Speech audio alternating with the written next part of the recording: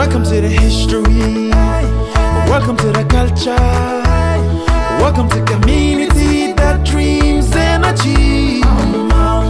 Living in change for better tomorrow.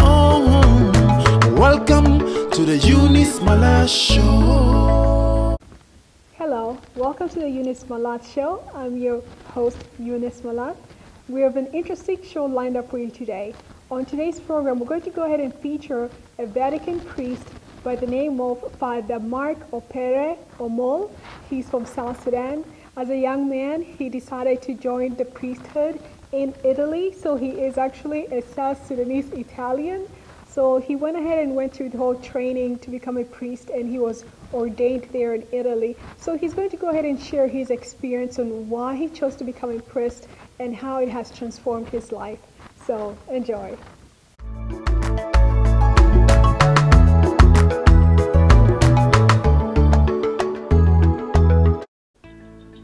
Thank you so much to the Eunice Malath Show program. I'm glad to be your guest today. My name is Father Mark Opere Omol. I'm a South Sudanese Catholic priest. I'm 29 years old and I'm based in Italy. I'm here to share my, my life and my experience so as to reach the youth who will be following the show program. First and foremost, where did I study my seminary? What is the seminary? The seminary is the place where young men go to prepare themselves to become priests. I studied my seminary in Verona from the minor seminary to the major seminary and to the conclusion. Now, before joining the seminary, what happened to me that made me to decide to join the seminary to become a priest? As a little boy, I met some religious sisters who inspired me to think of religious vocation. And they did everything possible to help me understand whether I was called for priestly life or not. And the process of doing that, we refer to it as discernment, vocational discernment. Vocational discernment is the process by which a young person is accompanied by experienced person in the field to understand deeper in themselves if they have a call to respond to from God. And that's what happened to me. I had the chance to meet some religious sisters who accompanied me for a period of time, and we together came to a conclusion to understanding that truly God was reaching out to me, asking me to become a priest. And on the basis of the help from those sisters and my personal feeling after sufficient period of discernment, I came to the idea that I would join the seminary because I was like ready to prepare myself to serve God in priesthood. And I was brought to Italy. Now, what are the challenges that I faced upon arrival to Italy, being a new country? I had the, the, the, privilege of speaking Italian before going to Italy. I had met some missionaries, some Italian missionaries in the past, and I got impressed by the way they spoke their language. And I always thought I could learn that language in some day, just for cultural reason. And I committed myself and I learned the language. So, the first good thing that helped me to insert myself into the community was the knowledge of the language. Of course, I did not speak the language perfectly, but I had the sufficient basis, the grammatical basis to cope up and to perfect my Italian with the time. So I joined the seminary. And the first year in the pre major seminary, we were like 18 of us in the class in Verona. And I was the only African. I remember we had like one Vietnamese and one Filipino, and the rest were all Italian. So another new challenge to be faced is, was actually coping up with people coming from different geographical entities and backgrounds. But again, the will and the zeal and the desire to respond to the call helped me develop the right attitude and mechanism to cope up with life.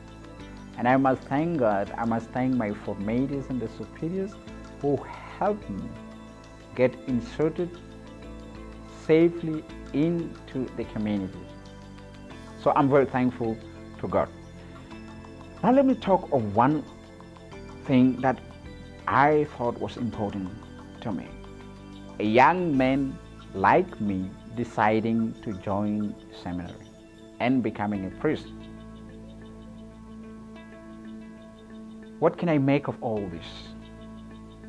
On the basis of my faith, the faith that I received first from my mother and my father, from my Christian community, and from testimonies, people who live the faith in an exemplary manner, was that each life has a vocational sense of direction.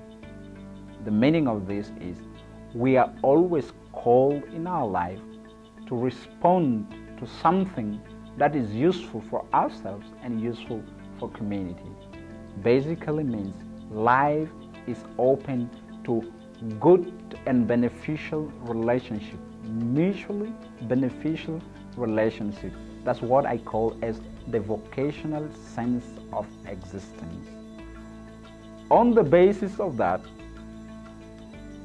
as a young, as a young man, I decided to dedicate myself to becoming priest. I studied the years of, this, of, the, of the philosophy and eventually joined the, the major seminary for theology which I finished successfully, and I got ordained as priest. I got consecrated as priest in Italy.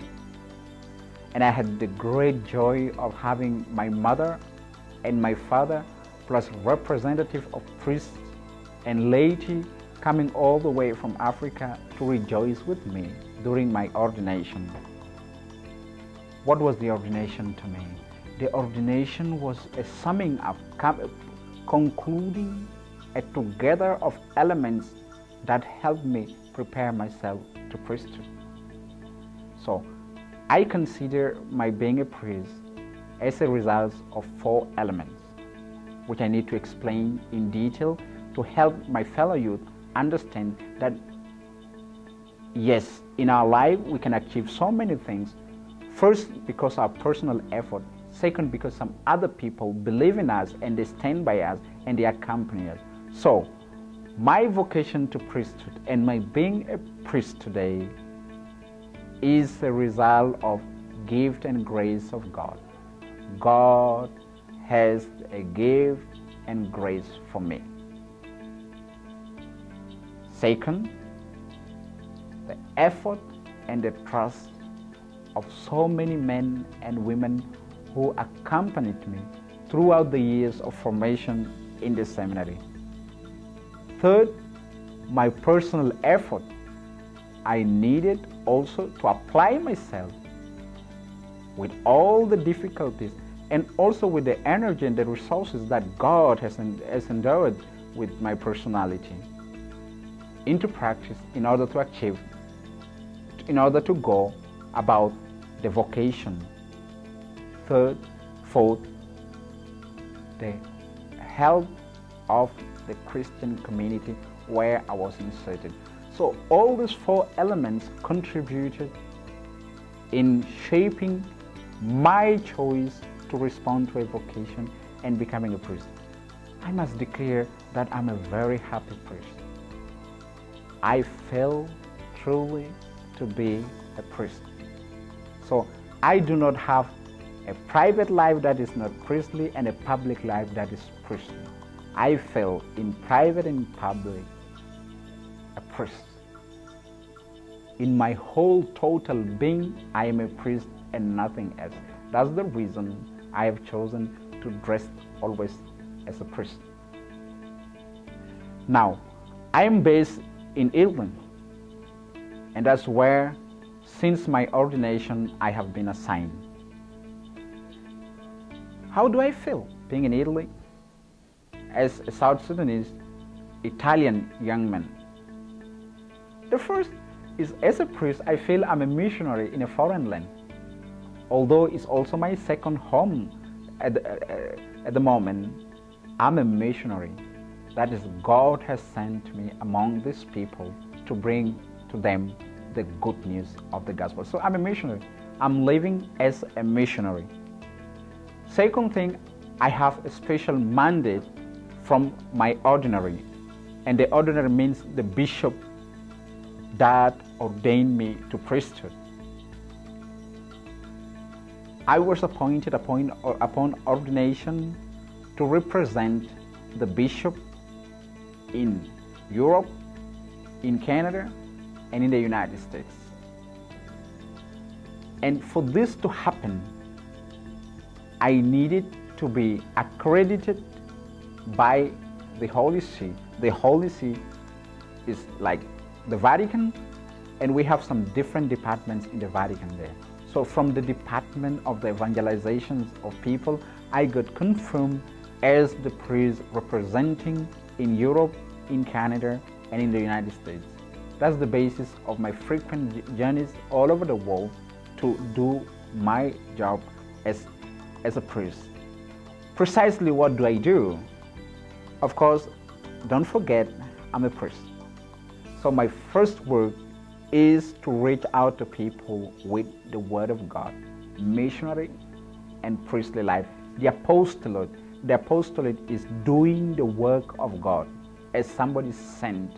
So I have, vis- I have been visiting extensively the United States so as to meet our Christian communities, help them grow spiritually in their Christian life, help them mature in their religious commitment, and also listen to some of their grievances, some of their difficulties, and eventually together with them find ways to settle them, to, to help them go, go about. And I'm glad most of the visits to the United States have been very successful in the sense we together with the, with the communities tried and found out some ways to help the communities. And I must say, I'm very satisfied of most of my visits.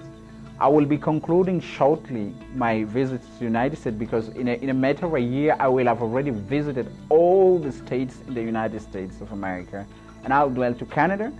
I will be doing the same thing with the people in, in, in Canada, visiting them through, from state to state, minister to them as a priest, help them grow spiritually in their Christian life and, and, and religious commitment, and also listen to some of their problems that they face. Because as a priest, at times communities and individuals feel at, at ease, at peace to reveal and share with me their problems that otherwise with some other people they cannot do. This is also one of the things that contribute to my joy of being a priest. I am a father. People refer to me as Father Matt, and therefore they behave toward me as children, as daughters and sons. and I must take the responsibility of behaving like a father to them. I must show the fatherly, of course, my fatherhood is a spiritual one. It's not biological because I, do, I don't have my biological children.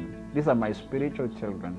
So I need to behave before them like a father, accompany them like a father, take care of them like a, fa- a father, and pay attention to them like a father. This is a great joy for me. And I must assure you, gentlemen, that this is such a wonderful opportunity to me.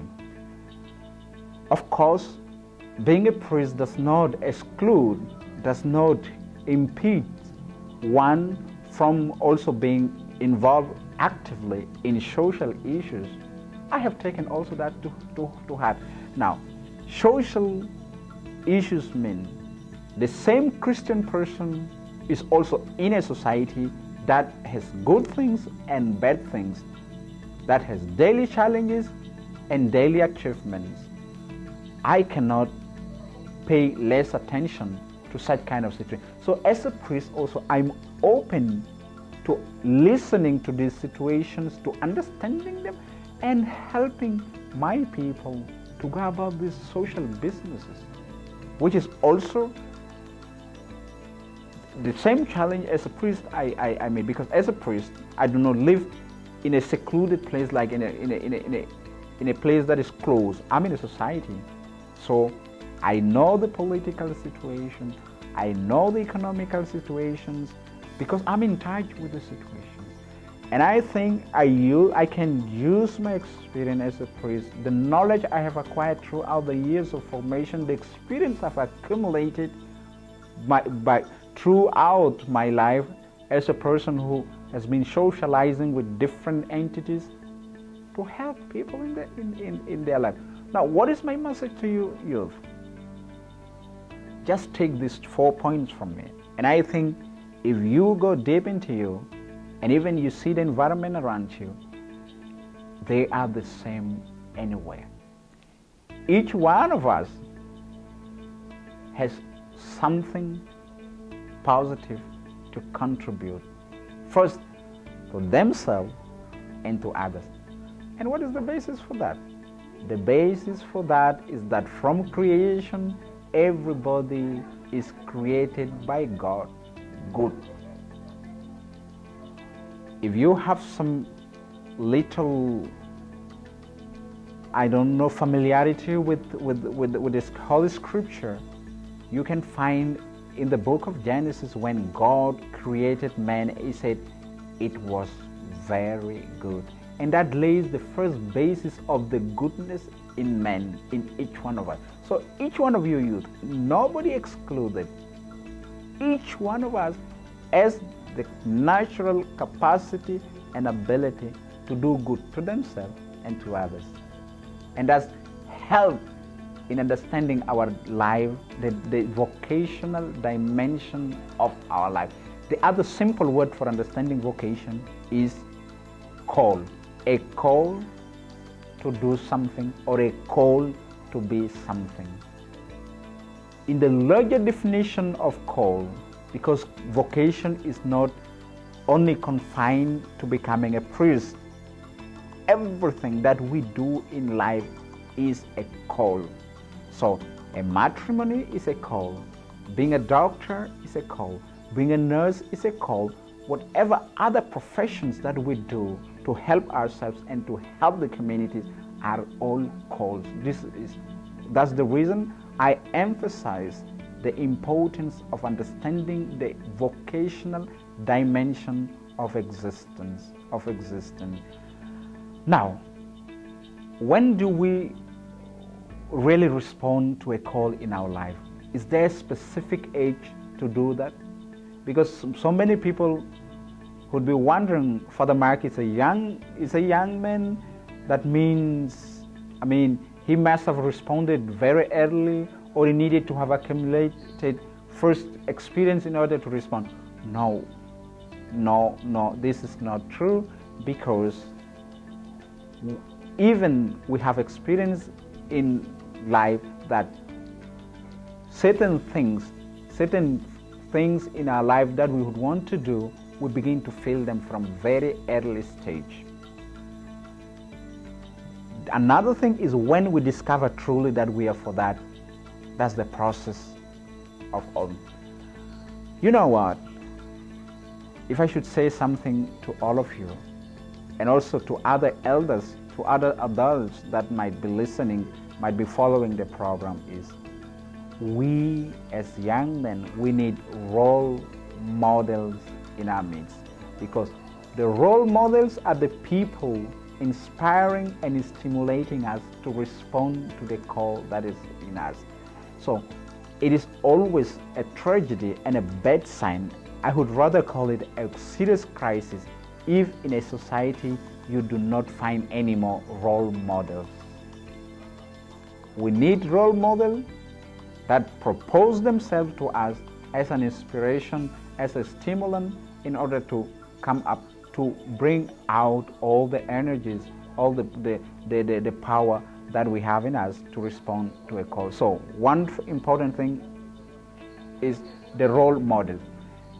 Second important things that we need is actually our personal commitment to follow the example that is set before us because an act of education is an act of freedom. Nobody would force us to understand something that we have decided in our heart not to listen to. And nobody would force us to respond to a call that we don't feel. That's why it's an act of commitment and therefore an act of freedom.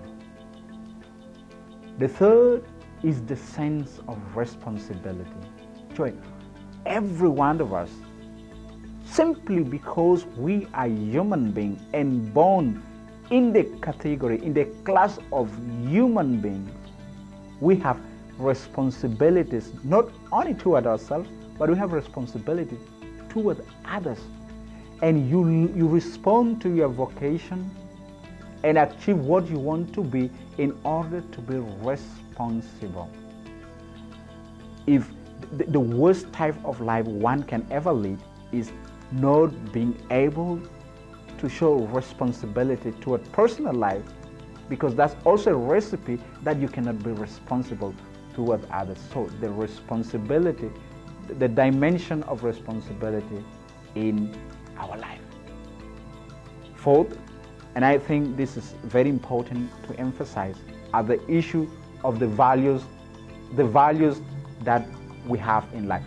Each one of us, from our families, from our society, from our people, we have certain values that that our ancestors, our parents, our elders believed in them, used them to, to build their society, to build their personality, and we also grow into following those values in order to build our personality and our identities. So each one of us, each one of you guys, I believe has certain values that come from the family, that come from the society, that come from people that have experience in life. So in this process of responding to one call, also the values do have greater impact.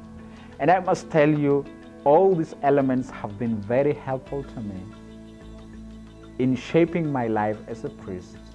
I'm a young priest. I have no intention to change my life. I'm very convinced that God has called me to be, to be a priest, and that is my mission.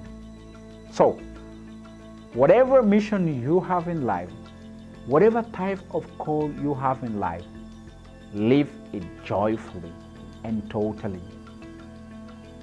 If you do not have joy in living what you have, you do not live it fully.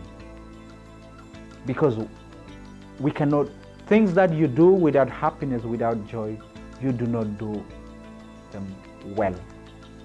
Only things that attract you, that, that, that makes you enjoy, that makes you feel good, is what you can do truly for, for, for, for your So I'm very happy that through this program of, the, of Eunice Malath show program, I'm able to reach out to you young men and young ladies to share my experience and perhaps also to bring about the understanding that me becoming a priest, there was nothing extraordinary about me that God decided that He should choose me because I was so special. I'm just like any one of you. I was like any one of you, and God chose me from among many of my of, of my similars. So there, there's no way that I, sh- I should make the impression in people that I am a priest today because actually in from the very beginning I was so special. No way. The meaning of this is that God can reach out to you in whatever stage of life you are. And whatever stage of life you are is always suitable to respond to a call. So the call has no time, it is timeless, but should not be excluded from the lifespan because somewhere in my life, someday and sometime, some inspiration will come into me and that will put me into a, a, mood of searching, of discerning what I should do for life. So, guys, don't worry if you don't feel special because I was never special. I was just ordinary. And the sense of being ordinary is actually very important so that whatever extraordinary things you want to do in life, build it on your being ordinary. I'm so grateful. I am furthermore, I'm joyful of my priesthood and I want to live my priesthood with the totality of my commitment and of my dedication. And I truly feel a father to everybody. I'm happy. God bless you guys and you have a good time all. Thanks. We've come to the conclusion of the program. We hope that um, hearing words and, and, the inspirational story of Father Omol inspired you to go ahead and achieve whatever dreams that you might have. Uh, join us next time for another show here on the Eunice Malath Show. Thank you. If you believe, you can achieve.